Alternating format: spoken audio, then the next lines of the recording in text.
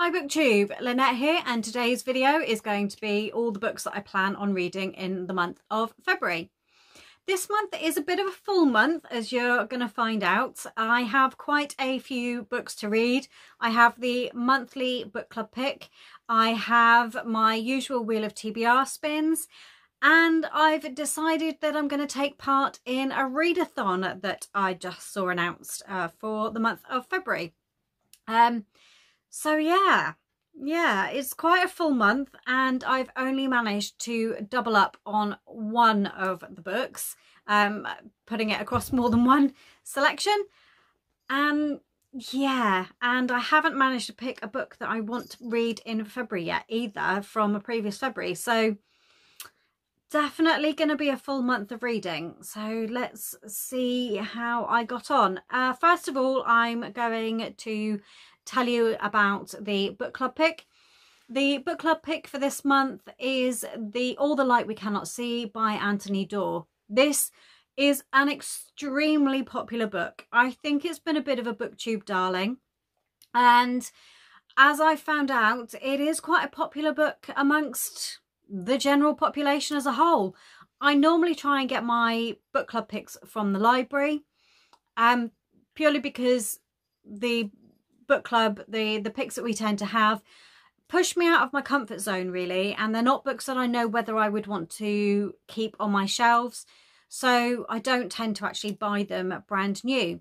Um, but it looks like I'm going to have to do it this month because uh, there are about 25 copies of this book across my library service local area and that combines a various uh, number of um, council areas in the UK um, with quite a number of libraries between them. And every single copy is either in transit between libraries, uh, being transported to someone who wants to um, borrow the book, is on hold because it's waiting for it to come free um, so that it can be transported around a library for someone to borrow it, or it's out on loan. And so I'm not going to get a copy of this book very, very quickly this month. Uh, so yes, but I am looking forward to picking it up. It is, um, I think, pre-World War II and it's about two young people um, who have very different lives. One um, young French girl and one young German boy. The French girl is blind and she lives her life in mazes. Her father sets them up for her um, primarily one of the city of Paris where she lives so that she, wherever she is in the city she would know exactly where to go to get home. And the young German boy he is a boy destined to work in the mines all his life until he comes to the attention of the Hitler Youth. I don't know anything else about it than that. It does sound like it's going to be one that's going to challenge me but in a good way because it's going to bring out the emotions and it's going to be talking about subjects that aren't ones that I normally explore with my reading. So I'm really looking forward to picking this up and I think I probably may even be making it a priority for the month. So let's move on and talk about the spins for this month. So I've only done two spins um, because I don't think I can handle anything more than that um, this month. So let's go on and um, see what my first spin was. Right, so here's the wheel left over from last month. The final prompt that came out in January's spins was a book that starts with the letter C. So I'll just run my randomizer app and I'll replace that and come back to you.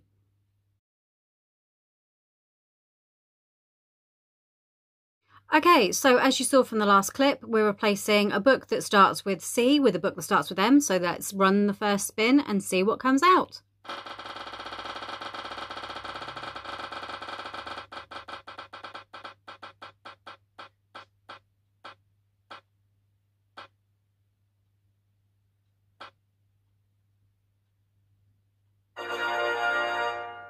Okay, so it's a memoir or a biography. Okay, so the first spin has given me a memoir or biography. Now, I don't tend to have these um, on my TBR, unfortunately.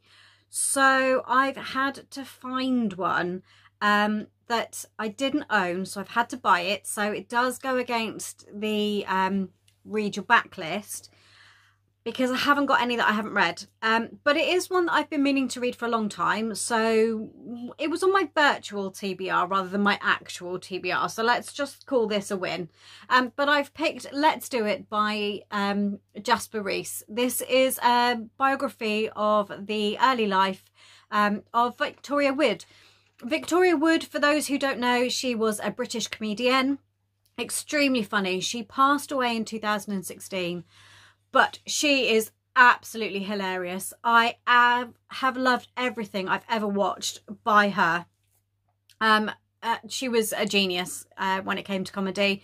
Uh, if you don't know who she is, Google her. She has some extremely funny songs. Um, they're my, one of my particular favourites is a TV series, co comedy series called Dinner Ladies. Have a look at that. That is absolutely stunning. Absolutely loved that one.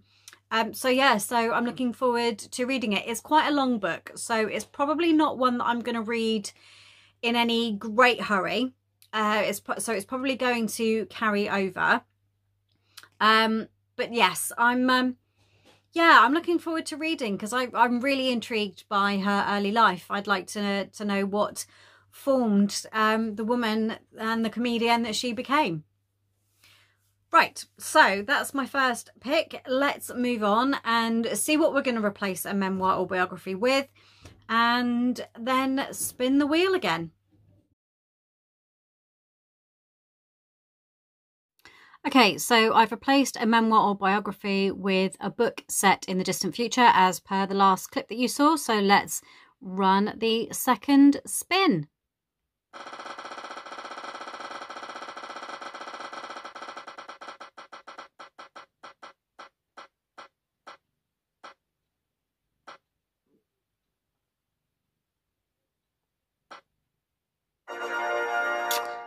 A book with two points of view. Apologies if the cameras move around a bit. Um, in between uh, takes, I've just nudged the camera somehow, so I don't think it's quite in the same space. But uh, from what you just saw, then the second spin gave me a book with two points of view. So this one was quite easy. I picked a romance novel and I've picked Ares by Felicity Heaton. This is book one in her uh, Guardians of the Underworld series. It's based around um, the sons of Hades, who are demigods, and the women who become their happy ever afters.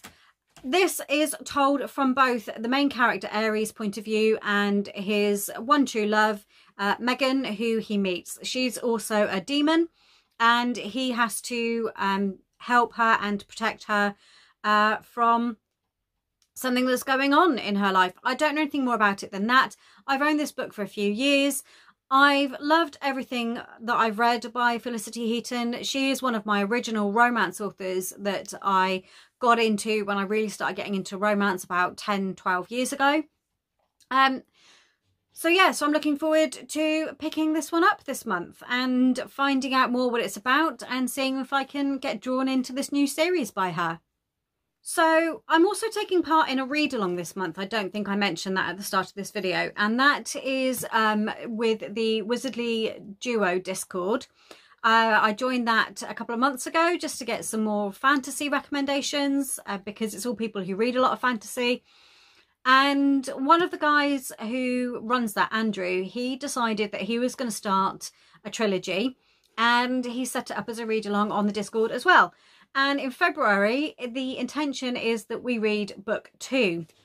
Book two, uh, so the series is the Licanius trilogy by James Islington, and book two is an echo of things to come, um, obviously by James Islington. This picks up, I think, from where the last book left off. Um, but I don't really know anything about what's set to happen in this book. I haven't read the blurb. I enjoyed the first book. It's not one that's really stayed with me much other than that there's this barrier that's keeping evil at bay and then there's these three young people who are going through various trials um, who ultimately are going to be stopping this barrier from coming down. Um, so as far as I can tell, that's what it's all about. Uh, this is going to be following the three main characters again. Um, and also a fourth character who came into their own towards the end of it. We found out who they were. So I'm looking forward to picking it up and looking forward to continuing it. It is a bit of a chunker. It's a library copy, so it's well used. Um, so it does sit a lot larger on the shelf than um, it would if it was a brand new copy. So it does feel like it's an absolute massive one to get through. Um, so again, not sure if I'm going to finish it in February, but it's definitely one that I aim to pick up so I can carry on with the read along. So then on uh, YouTube, I saw Sam over at Thoughts on Tomes announce that she's going to be doing a readathon called Shiftathon. And this is based around her love of paranormal romance. She's doing this in partnership with a friend who I don't think is on here, but that's someone she talks to through Twitter. Um, I'll try and link the announcement video down below, but it's going to run from the 16th to the 22nd of February and basically read shifter or paranormal or any other type of romance novel in that. Sorry about the wobble. The cat decided he needed to join me um, any other book in that sort of um, vein. So there's five prompts that they have given to us um, and I will just read those out to you. Uh, prompt number one is a book with shifters other than werewolves. Easy, there's a lot of those around. Prompt number two is read a book with vampires. Prompt number three is read a book with fae or elves. Prompt number four is read a book with a paranormal creature from an, a religion. So things like angels or demons or jinn. And prompt number five uh, is a book with zombies or ghosts. So I will just talk you through the books that I've picked. It is one book per prompt. Um, yeah, so this is why I thought, because it's five books. I've picked five romance novels. Um, so they should be able to get through them very, very quickly. So like I say, the first prompt is a book with a shifter other than werewolves. And this is easy. I have a brand new release that I am most anticipating. It comes out on the 15th of February. And that book is Fury of Isolation by Corinne Callahan. It is the next instalment in her Night Fury series about dragon shifters. And I think this is going to be Sloane's story. Um, I'm really, really pleased that she's ramped up the writing and that she's uh, getting on with this series because we were left hanging for quite some time. I think she must have had some issues, some health issues and family issues. So it's taken her a little bit of time in between books, but we seem to have quite um, the role going at the moment. So I want to read them as soon as they come out. So this is going to be an excellent book to kick off Shiftathon on the 16th of February. Prompt number two was to read a book with vampires in. I had to go looking for this one. I wasn't too sure what I was going to read.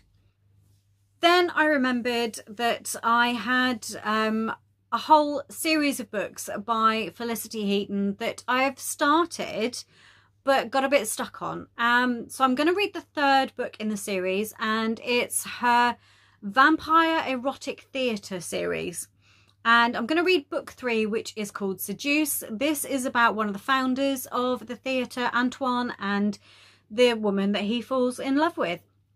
Um, again, so this is, you know, paranormal romance. So there's going to be some cheese in it, um, but it's going to be a fun ride. I'm going to enjoy it. No doubt the female in question is going to be sassy and fiery and kick-ass and stand up for herself. Um, and Anton's going to have some work on his hands to uh, get her to accept his world. And she's probably going to be in some danger, so there's probably going to be some visitations from other characters in the first couple of books uh, so that we can protect this female that he finds and I'll just see where it goes from there. Prompt number three was to read a book with Fae or Elves. Now I'm bending this a little bit. I'm going to read A of Frost and Starlight by Sarah J Maas. Now technically Rhysand um, and Feyre I are Fae, I think. This is the short story um, set in the same world. So it follows on a little bit from the end of A Court of Mist and Fury. Uh, no, A Court of Wings and Ruin it follows on from, sorry. Um, but then the next uh, book is A Court of Silver Flames and we move on to other couples in this world. But this just has a little bit of final, you know, I think it's slice of life type thing for Rhys and Feyre and the rest of the court. Um, so I'm looking forward to picking that one up and knocking that one off of my TBR as well because I've tried to pick books that are already on my TBR and not buy anything new. Prompt number four was to read a book with a paranormal creature from a religion. Now again, I've bent the rules on this one and I've doubled up and I've used Ares by Felicity Heaton for this one. Ares is a demigod. Um, the Greek gods were the Greek religion at one time. It might not exist anymore as we know it, but it's there. So I'm going with it. Um, and I've already talked you through what this one is about. Um, so yes, so I'm looking forward to knocking that one off of my TBR as well. And the final prompt was to read a book that has zombies or ghosts in it. Now again, I'm bending the rules a little bit and I'm reading The Curse Keepers by Denise Grover Swank. This book is about two young people uh, who have been told that they are the guardians of a gateway that is stopping. I love my cats, I really do. They are the guardians of a gateway that is stopping evil spirits from coming through. However, they are not ever supposed to meet because if they do, then the barrier will come down and the evil spirits will come through into our world. It's a bit of a romance as well, um, so it should be fairly quick to read through. Um, so yeah, so again, it's another one that's off a previous year's TBR. So it should knock these books off my list um, and reduce that TBR down by quite a bit. So those are the books that I plan on reading for Shiftathon. I will try and link uh, Sam's announcement video down below so that you can go and have a look and uh, see if it's something you want to take part in yourself. Let me know if you do because I'd love to know what you're reading as well for each prompt. Um, and yeah, yeah, so I'm looking forward to doing that. Um, I do have one more book that I want to talk about because I know that I'm going to drop everything to read it. It's a new purchase. It's going to be a new purchase. It's one of my anticipated books. Um, and it is How Good It Was by Scarlett Cole. And this releases on the 22nd of February. It's the third book in her Sad Fridays series. Um, the Sad Fridays are a group of rockers from Manchester in England and the women they fall in love with. This is the fake relationship trope based on the unplanned pregnancy trope.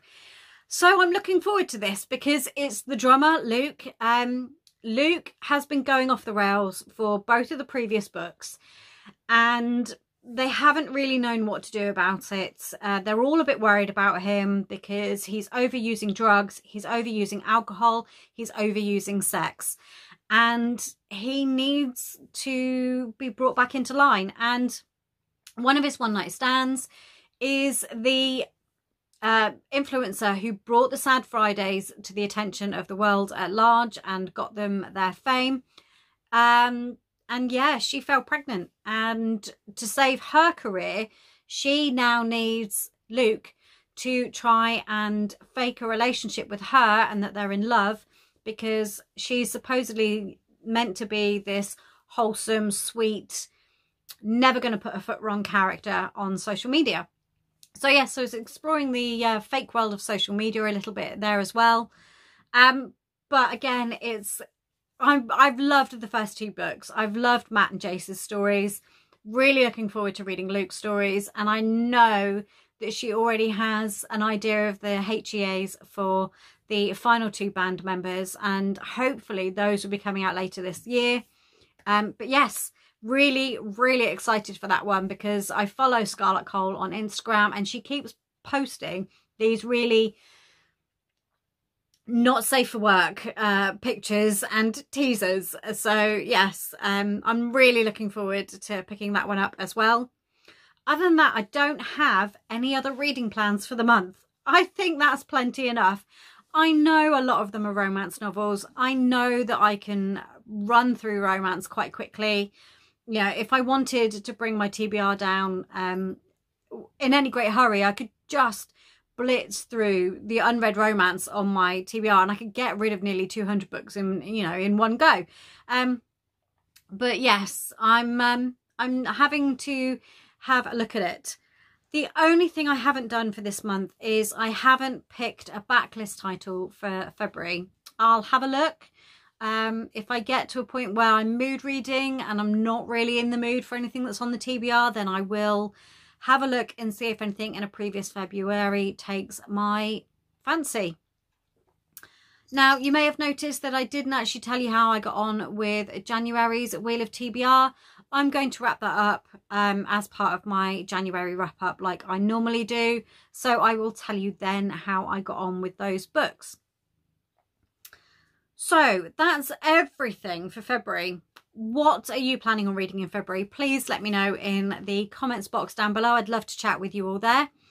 If you've enjoyed this video, then please do give it a thumbs up. And if you're not already subscribed, then welcome. Why aren't you subscribed? Please do so by clicking on the little red button below this video.